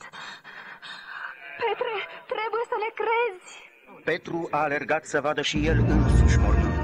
Spre sfârșitul zilei, alți doi ucenici au alergat la Ierusalim să le spună celorlalți o veste uluitoare. A înviat Domnul cu adevărat și s-a arătat lui Simon. Nu l-am recunoscut când era pe drum. L-am recunoscut atunci când a frânt pâinea. La Emaus, ce ciudat să fie acolo. Pace vouă. Deodată Isus a apărut în mijlocul ucenicilor. Nici o ușă nu fusese deschisă. Doamne! De ce sunteți tulburați? De ce aveți gânduri de îndoială? Uitați-vă la mâinile și picioarele mele și veți ști că sunt eu. Pipăiți-mă și vedeți. Isus s-a apropiat ca ei să poată vedea clar urmele cuielor din mâinile și din picioarele lui. Un ucenic i-a dat o bucată de pește prăjit și el a mâncat-o. Un duh n-are nici carne, nici oasă cum am eu. Iată ce vă spuneam când eram încă cu voi. Tot ce este scris despre mine în legea lui Moise, în cuvântul profeților și în psalm, trebuia să se împlinească. Așa este scris. Hristos trebuie să sufere și să învieze a treia zi dintre cei morți. Și numele Lui să se vestească tuturor neamurilor pocăința și iertarea păcatelor, începând din Ierusalim. Voi sunteți martori acestor lucruri și voi trimite peste voi făgăduința Tatălui meu, dar veți rămâne în Ierusalim până când veți îmbrăcați cu putere de sus. Isus s-a arătat de multe ori la diferite grupuri de ucenici. Odată s-a arătat unui grup de peste 500 de persoane. În cele din urmă, după 40 de zile de la învierea lui din morți, Isus i-a condus pe ucenici într-o grădină de pe muntele măslinilor. El și-a ridicat mâinile și a zis, Dumnezeu să vă binecuvânteze. Toată puterea mi-a fost dată în cer și pe pământ. Duceți-vă și faceți ucenici din toate neamurile, botezându-i în numele Tatălui, al Fiului și al Sfântului Duh. Și învățați-i să păzească tot ce v-am poruncit. Și eu voi fi cu voi în toate zilele, până la sfârșitul veacului.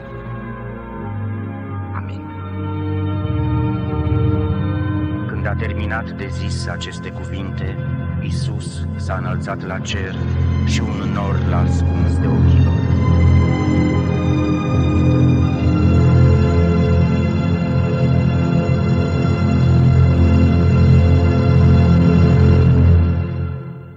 ziua nașterii sale și până când s-a întors la ceruri, viața lui Isus a fost extraordinară. El a fost un om ca nimeni altul. Isus a venit cu un scop special. El a fost trimis de Dumnezeu Tatăl ca să aducă mântuire pentru întreaga lume. El a venit cu o putere extraordinară, puterea lui Dumnezeu. A vindecat pe bolnavi, a scos duhurile necurate din oamenii chinuiți, a poruncit vântului și mării să se liniștească. Prin aceste minuni, Isus a dovedit că era cine a spus că este Fiul lui Dumnezeu. Isus a afirmat că dacă îl acceptăm pe El ca mântuitor și dacă ne încredem în El ca jertfă pentru păcatele noastre, putem să trăim după moarte veșnic cu Dumnezeu. Isus a explicat că a trebuit să moară pironit pe cruce pentru a ne ierta păcatele, dar că a treia zi va învia din morți. El a făcut aceasta pentru a dovedi în mod absolut că El este Dumnezeu. Isus a spus, Eu sunt învierea și viața. Cine crede în mine, chiar dacă ar fi murit, va trăi. În sfârșit, aduți aminte mereu de minunatele lui promisiuni. Nici de cum nu te voi uita, cu niciun chip nu te voi părăsi. Iată, eu sunt cu voi în toate zilele, până la sfârșitul veacului.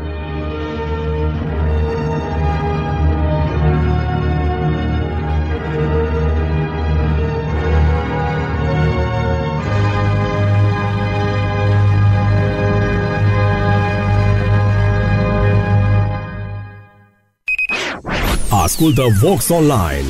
Skype vox.nv.online Facebook Vox Online. Website www.vox-online.ro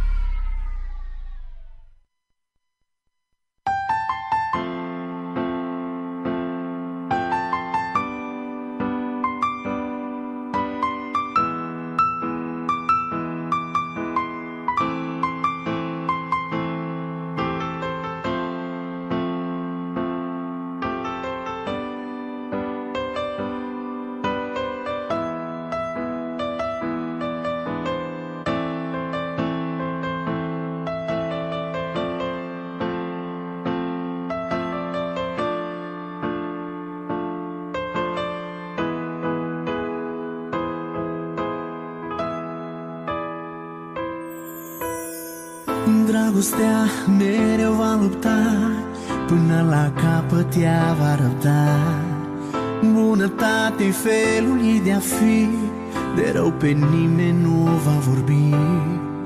Dragostea nu se va lăuda De mândrie nu se va umfla. Dragostea nu se va mânia Folosul ei nu-l va căuta. Dragostea mereu va lupta Până la capăt ea va arăta. Bunătate felul ei de-a fi De rău pe nimeni nu va vorbi. Dragostea nu se va lăuda De mândrie nu se va umfla. Dragostea nu se va mânia Folosul ei nu-l va căuta. Chiar dacă aș vorbi În limbi îngerești Chiar de-aș avea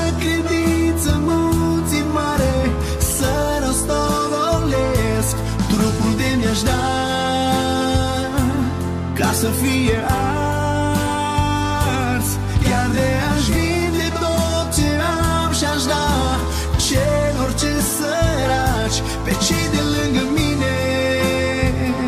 De nu i-aș iubi Nimic aș fi.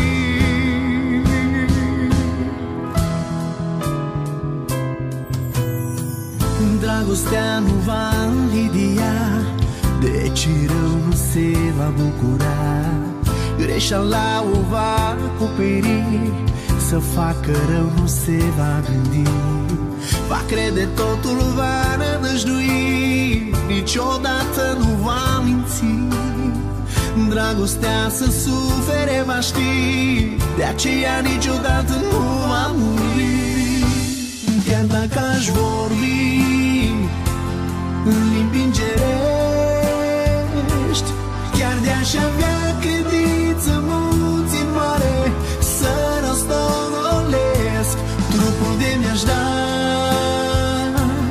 Ca să fie ars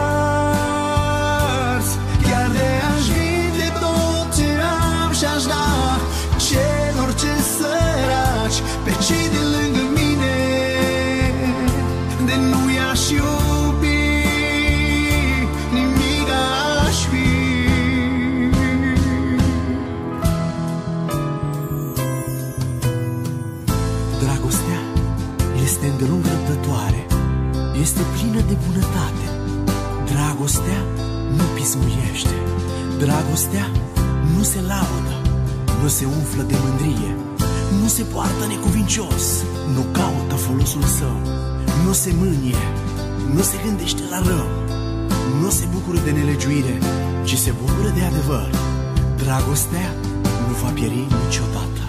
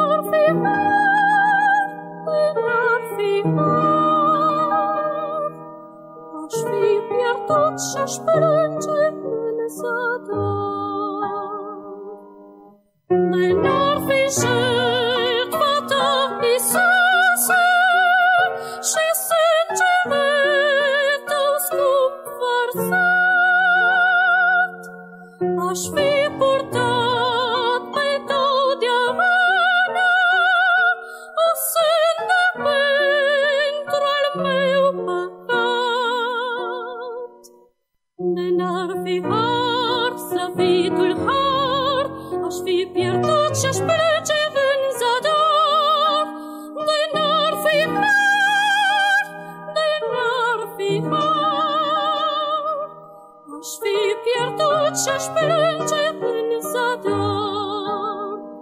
De n-ar fi har, slăvitul har, aș fi pierdut și-aș plânge n-ar fi har, de n-ar fi har, aș fi pierdut și-aș plânge în zadar.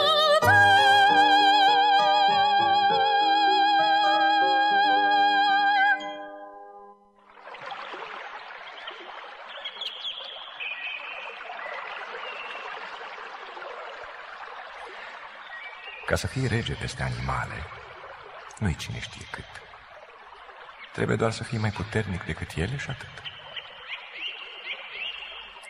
Ca să fii rege peste păsări, este puțin mai greu, dar frumos. Trebuie să zbori mereu mai înalt decât ele și niciodată mai jos.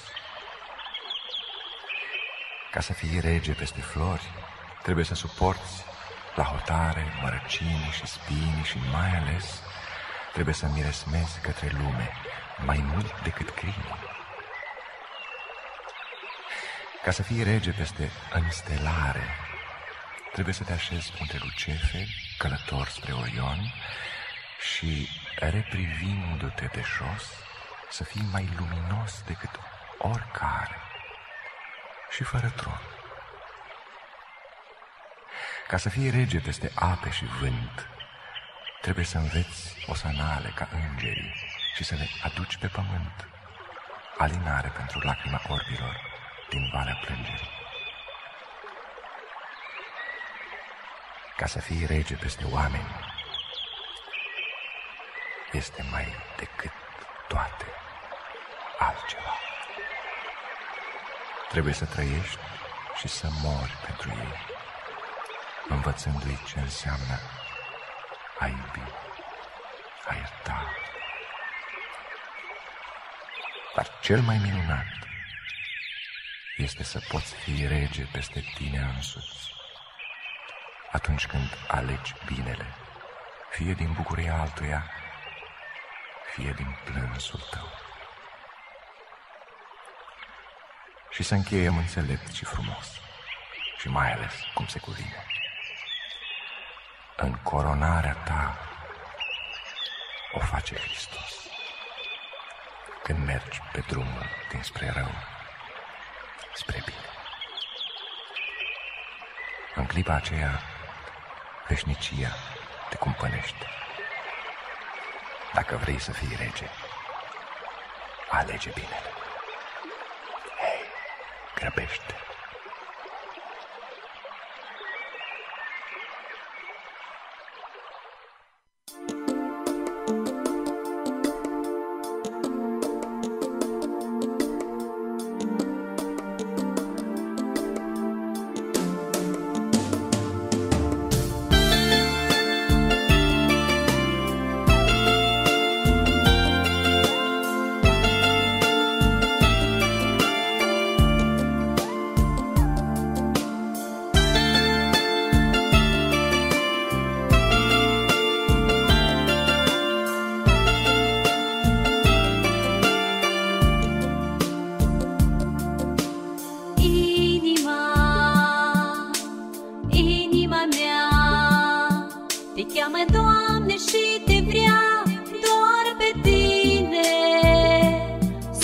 souffle tout.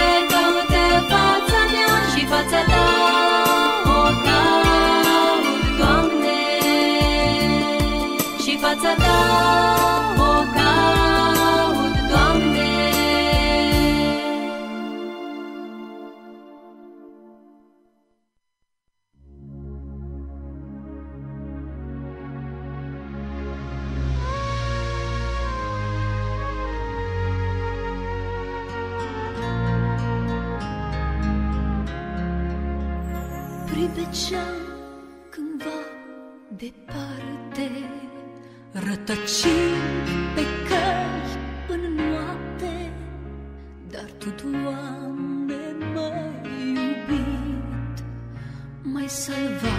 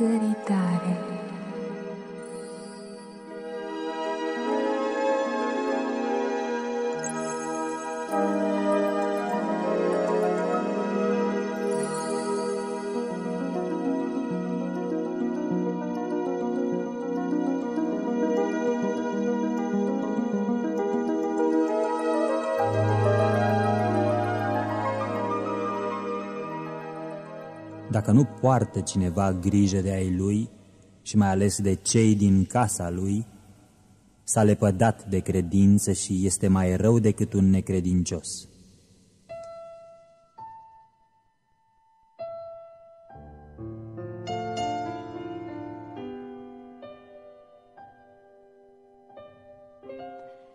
Mai de mult, o rândunică avea în cuibui șase pui și privea la ei sărmana ca la chipul soarelui.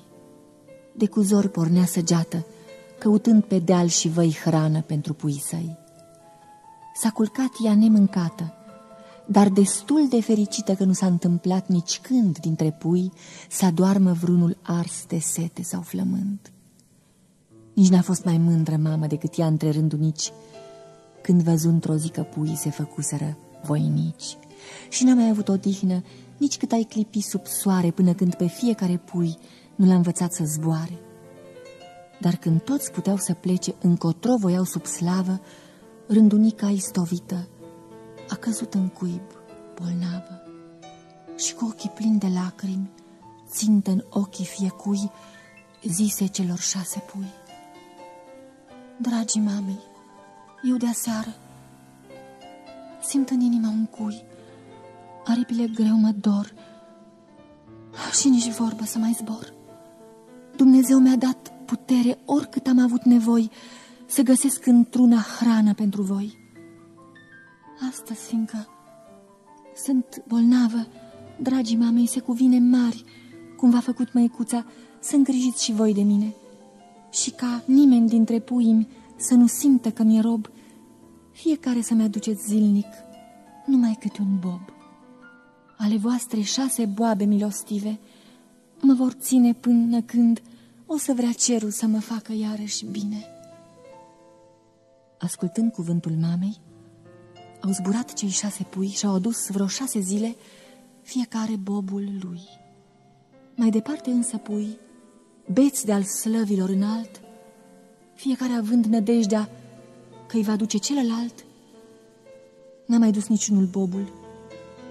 Și uitată mucenică, a murit atunci de foame cea mai sfântă rândunică. Și-a rămas apoi povestea tristă, neluată în seamă.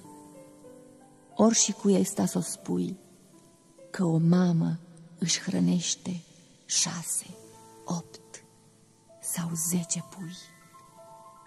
Însă zece pui adesea nu pot toți hrăni o mamă.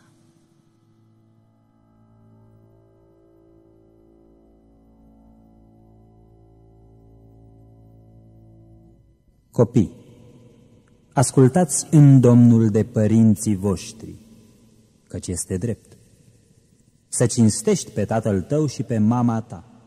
Este cea din tâi poruncă însoțită de o făgăduință, ca să fii fericit și să trăiești multă vreme pe pământ.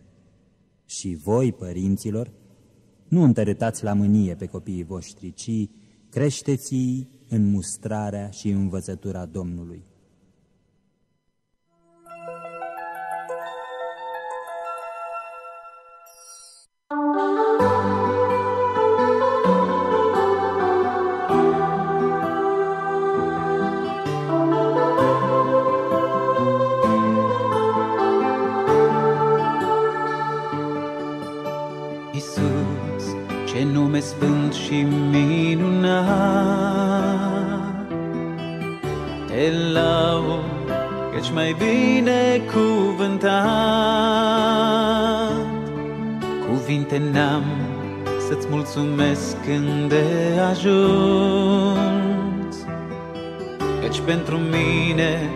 Cruce te-ai lăsat străpuns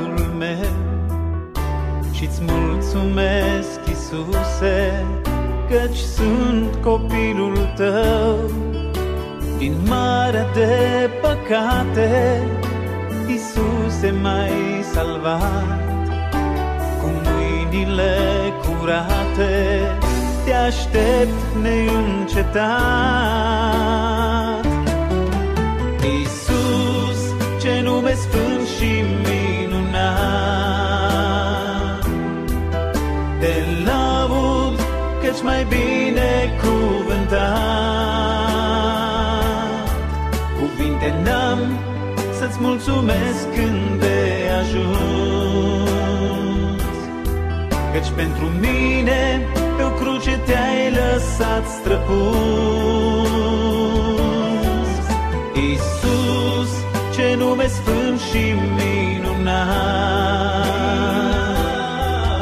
Te laud căci mai bine cuvântat. Cuvinte n-am să-ți mulțumesc când de ajuns,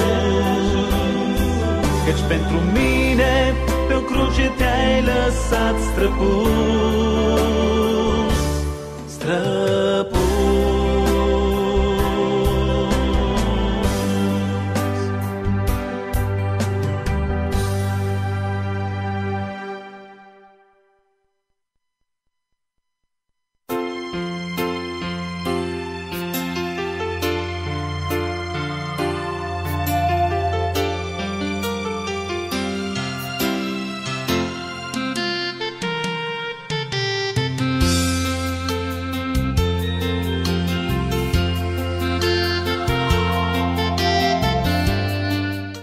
final de emisiune și final de sezon. Al dumneavoastră Cristi Simion vă urează o vară cât se poate de frumoasă și plăcută. La revedere!